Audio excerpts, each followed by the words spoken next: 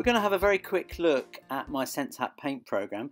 Here it is in action. You click on pixels on the grid on the screen and it lights the LEDs on the SenseHat.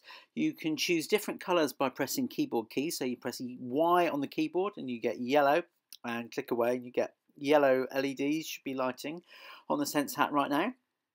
Uh, and then I'm going to press R to select red and you should see some red pixels appear. There's a bit of lag on this. And you can see there roughly what it looks like. It's very hard to film because the pixels are very bright.